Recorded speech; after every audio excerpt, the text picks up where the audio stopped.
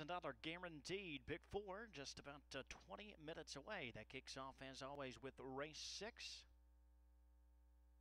Preferred trotters are lined up for tonight's fifth race. A field of seven are on gate.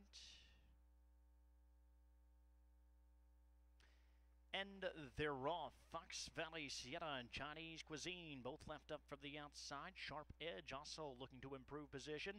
And from down along the inside, it's Wheels as they trot into that opening turn. Wheels into Tetrick are driven out for the early lead. Sharp Edge kept away trotting in the second spot as Chinese Cuisine continues up on the outside for Noble. The lone mare Fox Valley Sierra kept away in the fourth spot. Rever Ever is about five lengths off the early lead right now.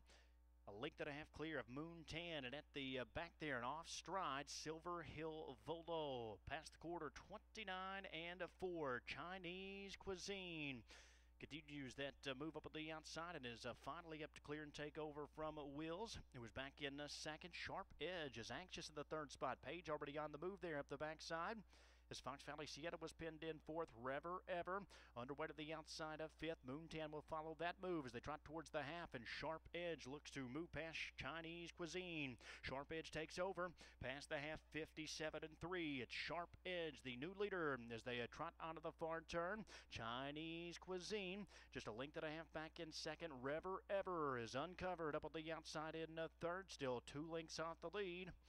Wheels under a hard hold there at the inside fourth. Moontan is under encouragement, but not gaining in fifth. Fox Valley Sienna continues to ride the cones as they trot around that far turn. Sharp Edge and Page still there. Rever Ever continues to edge closer up on the outside. Chinese Cuisine is back at the inside third. They're past three quarters in 126. Sharp Edge still there as Rever Ever bears down out of the center. Up at the far outside, it's Wheels as Chinese Cuisine begins to tire.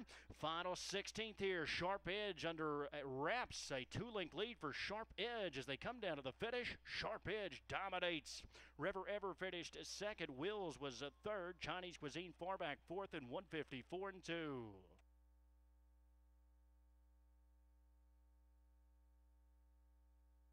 Edge dominates.